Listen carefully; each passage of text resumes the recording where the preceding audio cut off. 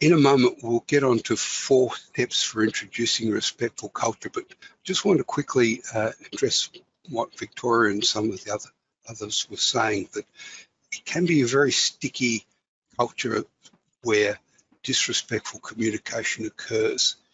And the, the exercise we've just been through is one that you can do yourself to make sure that everything you do, or everything or as close to everything as possible, everything you do is respectful. Because when you're generating respect, then you are a contributor to the culture and you're making a positive contribution to the culture. And I've seen workplace cultures that were very negative and, and very damaging, where one person took the leadership to say, I'm not going to continue acting as everybody around me is acting. And they made a point of being respectful to the point of almost being over the top. And in a number of situations, that leadership that the person has shown has slowly turned the entire culture around. Now, we, that won't always work, but it's certainly worth everybody being able to do their part in making sure that they're respectful. The other way that it can be used is on an organisational basis.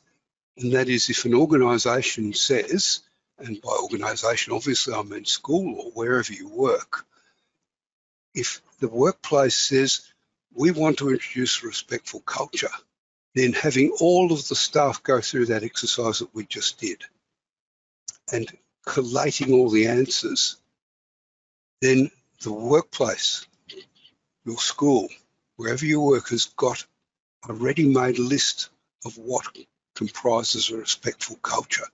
And if everybody agrees, okay, that everything from this list uh, is a respectful culture, and this is what we should strive for. It's a very powerful tool for turning around a workplace culture, providing an antidote where the poison already exists, but even better when it's preventative. Now, on your handout on the first page, I've got 10 actions you can focus on to influence the culture of respect and civility at work. This is from Barbara Richman. The Legacy Business Cultures website that's there is a, certainly a very, very rich source of information. And I'd encourage you, if you're interested to follow through, certainly go to that website. They've got a lot of very useful information there. But there are 10 actions. I'll, I'll leave you to go through those in your own time. But those 10 actions are some of the things you can do to just ensure that work, uh, that your behavior in a workplace is respectful. So let's go through those four steps for introducing a respectful culture.